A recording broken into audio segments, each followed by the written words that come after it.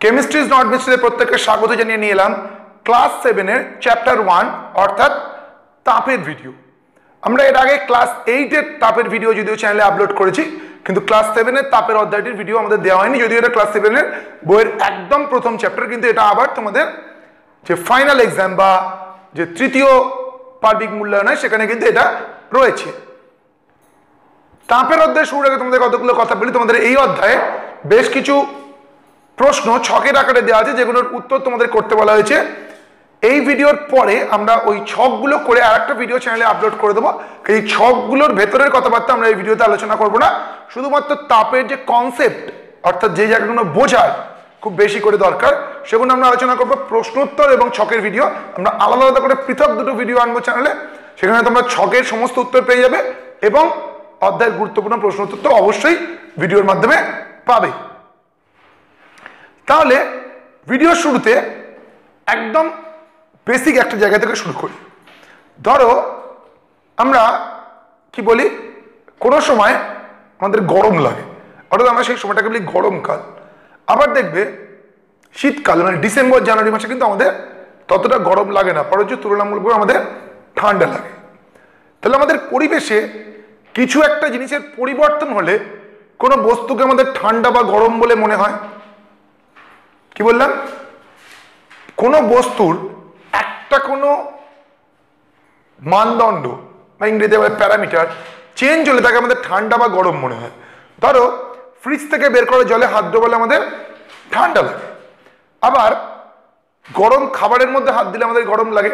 তো এই ফ্রিজের জল আর গরম খাবার বা ধরো গরম ডাল, এই দুয়ের মধ্যে কিসের পার্থক্য থাকে? আসলে এই দুয়ের মধ্যে যার পার্থক্য থাকে তাকে আমরা বলি উষ্ণতা ও তাপমাত্রা। তোমাদের কিন্তু তাপ বোঝার আগে তোমাদের সিলেবাস অনুযায়ী তোমাদের বুঝতে হবে উষ্ণতা ব্যাপারটা কি। উষ্ণতা বা তাপমাত্রা মানে কি, সেটা আগে সবাই আলোচনা করি। তাপমাত্রা। বা উষ্ণতা। তাপমাত্রা বা উষ্ণতা হলো কোনো বস্তুর তাপীয় অবস্থার একটা পরিমাপ। মানে খুব সহজভাবে বললে, কোনো বস্তু কতটা ঠান্ডা বা কতটা গরম, তার পরিমাপটাই হচ্ছে উষ্ণতা। যেমন ধরো, দেখবে তোমরা খবরে শুনে থাকবে বা নিউজ পেপারে দেখবে, লেখা থাকে যে গতকালের সর্বোচ্চ উষ্ণতা ছিল পঁয়ত্রিশ ডিগ্রি সেলসিয়াস, সর্বনিম্ন উষ্ণতা ছিল আঠাশ ডিগ্রি সেলসিয়াস। অর্থাৎ সেই দিনটা কতটা গরম ছিল বা কতটা ঠান্ডা ছিল, তার একটা পরিমাপ দেওয়া হয়। কিংবা দেখবে যখন কারও জ্বর হয়, একটা থার্মোমিটারের সাহায্যে থার্মোমিটার নামটা যেখানে এলো তাহলে বলেই দেখি। থার্মোমিটার মানে এমন একটা যন্ত্র যা দিয়ে আমরা উষ্ণতা পরিমাপ করি। কি করে করি, কীভাবে থার্মোমিটার তৈরি হয়, সব এই ভিডিওতে ডিটেলস আলোচনা করব। সুতরাং ভিডিওটা ধৈর্য ধরে শেষ পর্যন্ত দেখতে থাকো। তাহলে এই ব্যাপারগুলো কিন্তু তোমরা খুব সহজেই জেনে যাবে। তাহলে একটা থার্মোমিটারকে সেই রুগীর মুখের মধ্যে দিয়ে দেখা হয় তার শরীরের উষ্ণতা কত? সেখানে আমরা বলি কি, এর একশো জ্বর হয়েছে, একশো এক জ্বর হয়েছে। যদিও সেখানে আমরা এককটা উল্লেখ করি না বাস্তব জীবনে, করা উচিত। সেটা উষ্ণতা পরিমাপের একটা স্কেল থেকে আমরা বলি ফারেনহাইট স্কেল সেলসিয়াস স্কেল কি ফারেনহাইট স্কেল কি, সব ব্যাপার। এবং আরও অনেক কিছু চলো এই আলোচনার মধ্যে আমরা আসি। প্রথমে তোমাদের বইতে একটা ছোট্ট পরীক্ষা করতে বলা হয়েছিল। কি সেই পরীক্ষাটা ছিল? বলা হয়েছিল একটা শিশির মধ্যে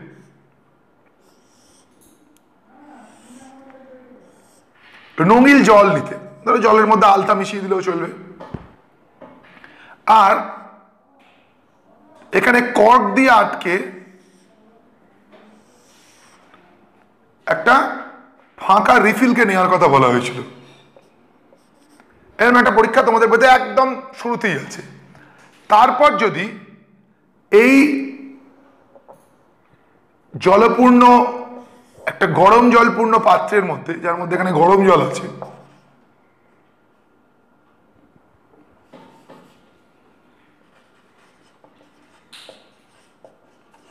এটাকে ডুবিয়ে দেওয়া হয়, তাহলে এর ভেতরে আস্তে আস্তে কি হয়? এই জলটা ওপর দিকে উঠতে থাকে। অর্থাৎ তাপ পেলে সেই জলটার আয়তন বাড়ে, ফলে জলটা একটা বেরোনোর জায়গা পায়, সেটা দিয়ে আস্তে আস্তে উঠে এটাই কিন্তু হচ্ছে থার্মোমিটারের কাজ করার পদ্ধতি। থার্মোমিটার কীভাবে কাজ করে? থার্মোমিটারের মধ্যে সাধারণভাবে পারদ থাকে। সেই পারদটা গরম হলে তার আয়তন বাড়ে, ঠান্ডা হয়ে গেলে মানে উষ্ণতা কমে গেলে তার আয়তন কমে। এইভাবে কিন্তু আমরা থার্মোমিটারের সাহায্যে উষ্ণতা পরিমাপ করি। তাহলে এবার আমরা চলে আসি মূল বিষয়বস্তুর মধ্যে থার্মোমিটারের মধ্যে। তোমাদের এখানে থার্মোমিটার ব্যাপারটা খুব ভালো করে বুঝতে হবে। থার্মোমিটার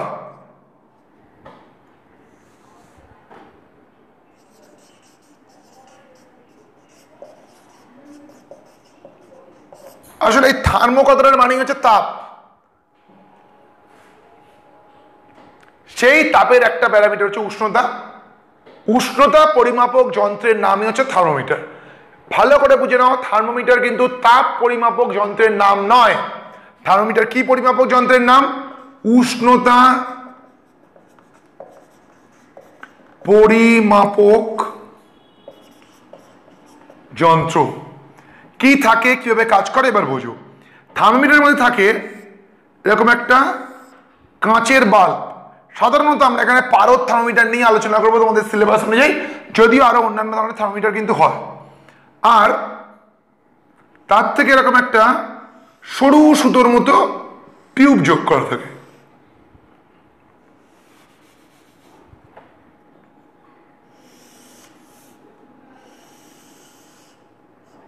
টিউবের প্রান্তটা সিল করা থাকে আর এর গা দিয়ে আর একটা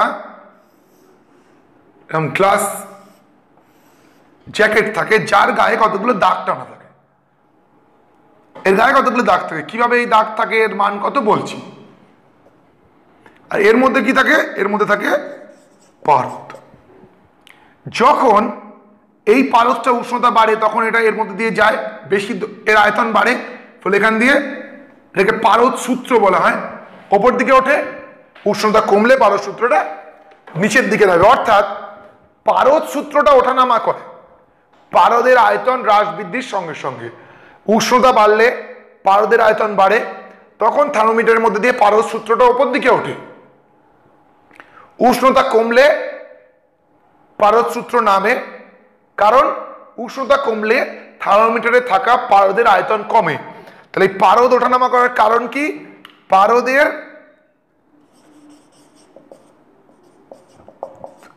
আয়তন উষ্ণতার সাথে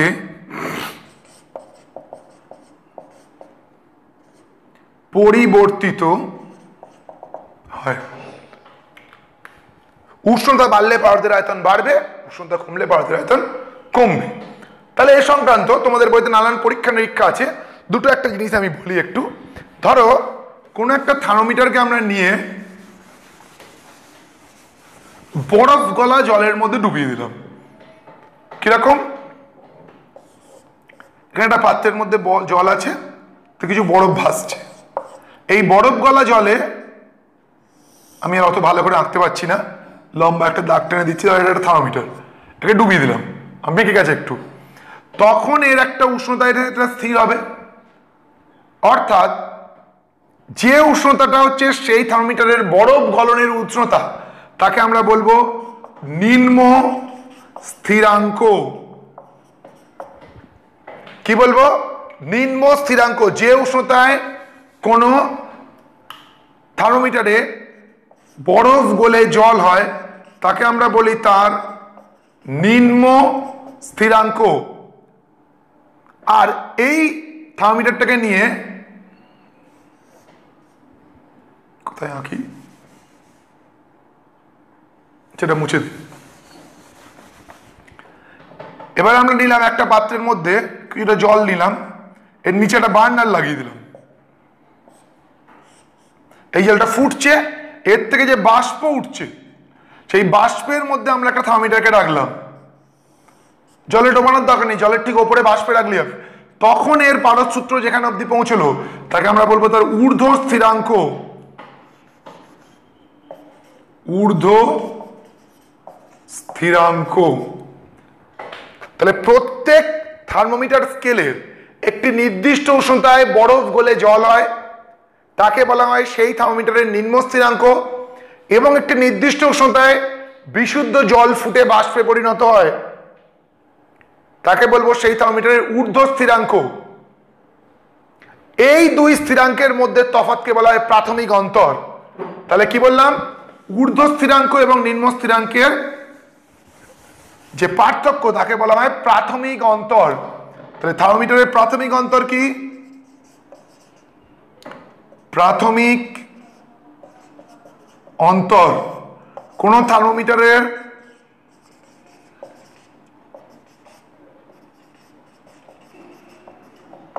ঊর্ধ্ব ও নিম্ন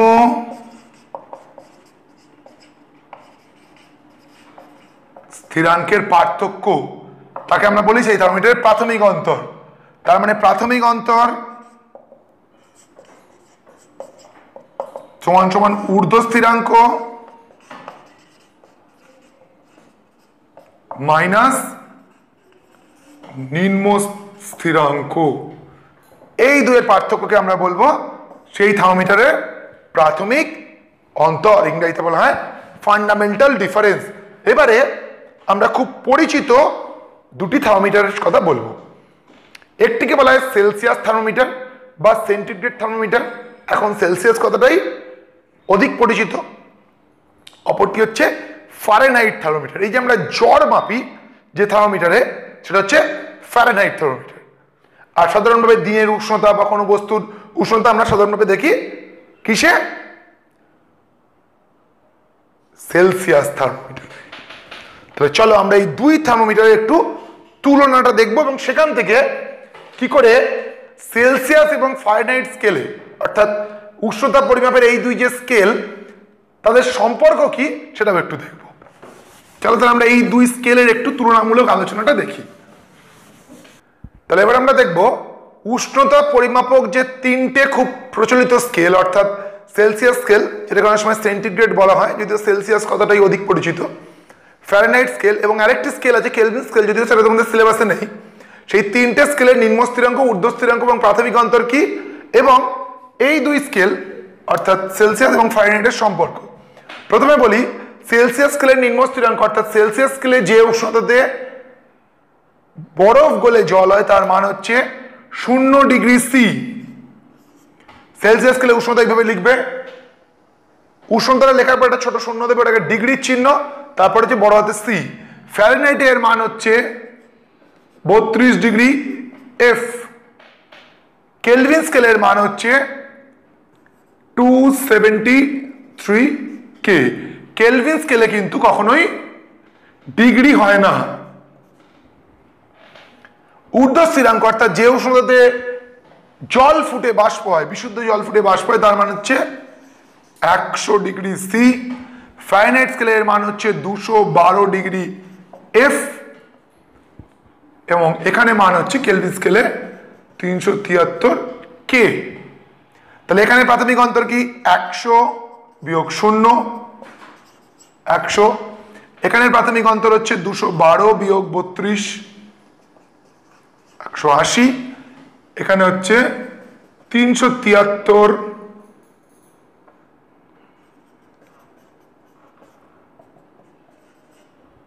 একশো। এবার দেখো এই দুই স্কেলের মধ্যে সম্পর্ক কি? সেলসিয়াস স্কেলে যদি কোনো উষ্ণতা হয় সি তার থেকে যদি আমরা নিম্ন স্থিরাঙ্ক বাদ দিই শূন্য, তাকে এর প্রাথমিক অন্তর দিয়ে ভাগ করি একশো। এবং ফ্যারেনহাইট স্কেলে যদি কোনো উষ্ণতা হয় এফ তার থেকে যদি আমরা বাদ দিই ফ্যারেনহাইটের নিম্ন স্থিরাঙ্ক বত্রিশ, তাকে ভাগ করি এর প্রাথমিক অন্তর একশো আশি দিয়ে, তখন একশো আর একশো আশি কাটাকুটি হলে সম্পর্কটা আসবে C by five is equal to F minus thirty two by nine এই হচ্ছে উষ্ণতা পরিমাপক দুই স্কেলের মধ্যে সম্পর্ক।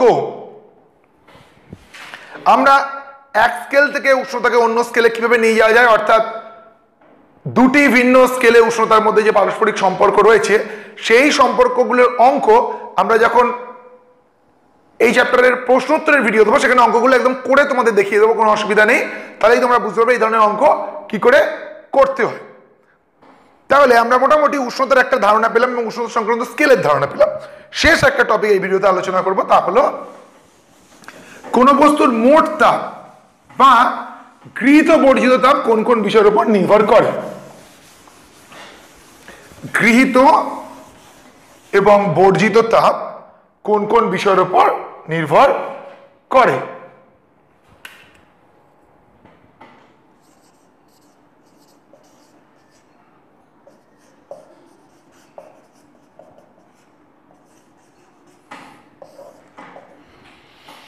দেখো, তোমাদেরকে ধরো, এক কাপ জল দেওয়া হলো। যে জলটার উষ্ণতা হচ্ছে তিরিশ ডিগ্রি সেলসিয়াস। তোমাদের একজনকে। দিয়ে বলা হলো, তোমরা এই জলের উষ্ণতা সত্তর ডিগ্রি অবধি বাড়াও। তোমাদের আরেক বন্ধুকে এক বালতি জল দেওয়া হলো। দিয়ে বলা হলো, তোমরাও এই উষ্ণতা তিরিশ ডিগ্রি থেকে সত্তর ডিগ্রি অবধি বাড়াও। এখন দেখো, দুজনেই কিন্তু একই পরিমাণ উষ্ণতা বাড়াবে। অর্থাৎ তোমাদের জলটাও আছে তিরিশ ডিগ্রি সেলসিয়াস, এক কাপ জল আর তোমাদের বন্ধুদের জলটা হচ্ছে, তিরিশ ডিগ্রি উষ্ণতার এই জল, দুটোই জল, কিন্তু তার পরিমাণটা হচ্ছে এক বালতি। এবারে বোঝো, দুজনকে কি একই তাপ দিতে হবে? অর্থাৎ তোমরা যে পরিমাণ তাপ খরচ করে এক কাপ জলের উষ্ণতা তিরিশ থেকে সত্তর করতে পারবে, নিশ্চয়ই তোমার বন্ধুদের ওই তিরিশ থেকে সত্তর যখন এক বালতি জলকে করতে হবে তখন নিশ্চয়ই বেশি তাপ লাগবে। তার মানে তাপ যে বিষয়ের উপর নির্ভর করে, তার মধ্যে একটা কি? বস্তুর ভর। বস্তুর যত ভর বেশি হবে, নির্দিষ্ট পরিমাণ উষ্ণতা বাড়াতে তত বেশি তাপ লাগবে। তাহলে প্রথম কিসের উপর পরি- নির্ভর করবে? তা হলো বস্তুর ভর।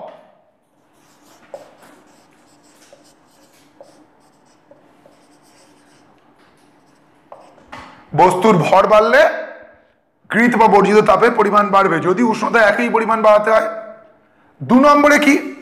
এবার ধরো, তোমাদের দুজনকে মানে তোমাদেরকে এবং তোমার বন্ধুদেরকে এক কাপ করেই জল দেওয়া হলো। কিন্তু তোমাদের বলা হলো যে উষ্ণতা তিরিশ থেকে সত্তর করো, আর তোমার বন্ধুদের ওই একই মাপের কাপে জল দিয়ে বলা হলো, তোমরা তিরিশ থেকে চল্লিশ করো। তাহলে তোমাদের তিরিশ থেকে সত্তর করতে যে পরিমাণ তাপ লাগবে, নিশ্চয়ই যারা তিরিশ থেকে সত্তর করবে তাদের বেশি তাপ লাগবে। অর্থাৎ উষ্ণতার পরিবর্তন যদি বেশি করতে হয়, তাহলে বেশি তাপ লাগবে। কম যদি করতে হয়, তাহলে কম তাপ লাগবে। তাহলে দ্বিতীয় কিসের উপর নির্ভর করবে? উষ্ণতার পরিবর্তন।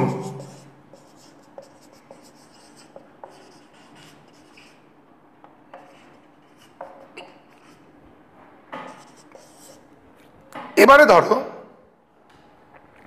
আবার সেই এক কাপের গল্পে চলে আসি। একজনকে এক কাপ জল দেওয়া হয়েছে, আরেকজনকে দেওয়া হয়েছে এক কাপ মধু। এবারও দুজনকে বলা হলো যে তিরিশ ডিগ্রি থেকে উষ্ণতা এবার দুজনেই চল্লিশ ডিগ্রি করো। সেক্ষেত্রেও কিন্তু দুজনের একই তাপ লাগবে না। যার জল তার একরকম তাপ লাগবে, যার মধু তার আর রকম তাপ লাগবে। অর্থাৎ বস্তুর যদি উপাদানও বদলে যায়, সেক্ষেত্রেও কিন্তু গৃহীত বা বর্ধিত তাপ বদলে যাবে। যদিও উপাদানের যে ধর্মটার উপর নির্ভর করে, তার নাম আপেক্ষিক তাপ সেটা তোমাদের সিলেবাসে নেই। তাহলে বস্তুর ভর, উষ্ণতার পরিবর্তন এবং বস্তুর উপাদান। এই তিনটে বিষয়ের উপর কিন্তু গৃহীত বা বর্জিত তাপ নির্ভর করবে। অর্থাৎ যদি এর দুটো করে পরিবর্তন না হয়, অপরটার সঙ্গে সমানুপাতিক। মানে বস্তুর যদি উষ্ণতার পরিবর্তন এবং উপাদান একই থাকে, তাহলে ভর যত বেশি হবে, তত বেশি তাপ লাগবে। যদি ভর এবং উপাদান একই থাকে, তাহলে যত বেশি উষ্ণতার পরিবর্তন করতে হবে, তত বেশি তাপ লাগবে। উপাদানটা ভাবে বলা সম্ভব নয়। এক একটা উপাদানে উষ্ণতা পরিবর্তন করতে এক এক রকম তাপ লাগে। তাহলে তিনটে বিষয়ের উপর কিন্তু নির্ভর করছে কোনো বস্তুর উষ্ণতার পরিবর্তন করলে কি পরিমাণ তাপ গ্রহণ করবে বা কি পরিমাণ তাপ ত্যাগ করবে। এই যেখানে লিখেছি, গৃহীত বা বর্জিত। আসলে উষ্ণতা যদি বাড়ায়, তাপ গৃহীত হবে।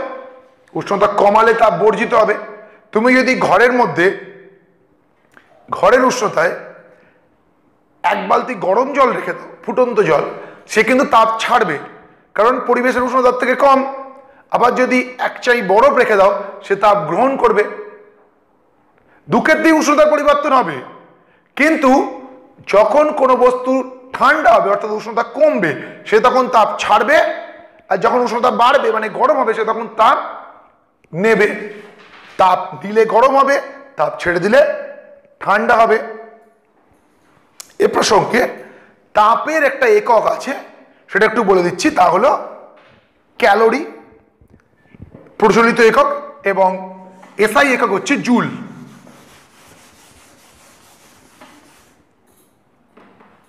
তাপের এসআই একক জুল এবং প্রচলিত একক ক্যালোরি। ক্যালোরি কাকে বলে? এক গ্রাম বিশুদ্ধ জলের উষ্ণতা এক ডিগ্রি সেলসিয়াস পর্যন্ত বৃদ্ধি করতে, এক ডিগ্রি সেলসিয়াস পরিমাণ বৃদ্ধি করতে যে পরিমাণ তাপ লাগে। কি বললাম? এক গ্রাম বিশুদ্ধ জলের উষ্ণতা এক ডিগ্রি সেলসিয়াস বৃদ্ধি করতে যে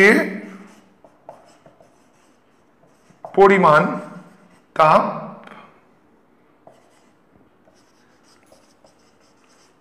প্রয়োজন। তাকেই বলা হয় হচ্ছে এক ক্যালোরি তাপ।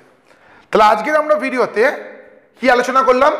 একেবারে তাপের যে বেসিক কনসেপ্ট অর্থাৎ তাপ দিলে কীভাবে উষ্ণতার পরিবর্তন হচ্ছে এবং উষ্ণতা পরিমাপক বিভিন্ন স্কেল তাদের মধ্যে সম্পর্ক, গৃহীত বা বর্জিত তাপ কোন কোন বিষয়ের উপর নির্ভর করে। তাপের গ্রহণ বা বর্জনের ফলে উষ্ণতার পরিবর্তন ছাড়াও আরও এক ঘটনা ঘটে, তাকে বলে অবস্থার পরিবর্তন। সেটা কিন্তু আমরা আজকের ভিডিওতে আলোচনা করব না। আমরা এর পরের ভিডিওতে অবস্থার পরিবর্তন এবং লিনটা ডিটেলসে আলোচনা করব। অর্থাৎ আজকে আমরা পড়লাম তোমাদের পাঠ্যপুস্তকের এক থেকে দশ পাতা অবধি এই দশ পাতার কিছু অংশ থেকে চোদ্দ পাতা পর্যন্ত আমরা এর পরের ভিডিওতে আলোচনা করব। আশা করি এই ভিডিওটি তোমাদের ভালো লাগবে। ভিডিওটি ভালো লাগলে একটি লাইক করে নিজেদের বন্ধু বান্ধবদের সঙ্গে শেয়ার করো। ভিডিওর কোনো অংশ বুঝতে অসুবিধা থাকলে বা কোনো নতুন চ্যাপ্টার পড়তে চাইলে বা কোনো চ্যাপ্টারের প্রশ্ন উত্তর চাইলে বা আমাদের কোনো সাজেশন দেওয়ার থাকলে তা অবশ্যই ভিডিওতে কমেন্টের মাধ্যমে জানান চ্যানেলে যারা নতুন, তারা অবশ্যই চ্যানেলটিকে সাবস্ক্রাইব করো। যারা আমাদের সঙ্গে এতখানি সময় কাটলে তাদের প্রত্যেককে অসংখ্য ধন্যবাদ।